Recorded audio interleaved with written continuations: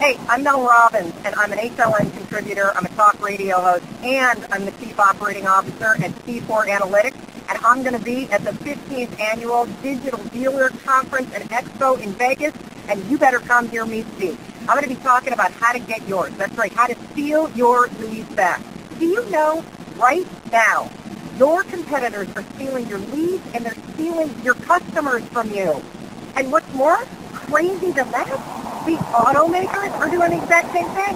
They're taking leads and customers that belong to you, and they're passing them out to your competition. Why? Well, because auto manufacturers don't care who sells the car; they just want it sold.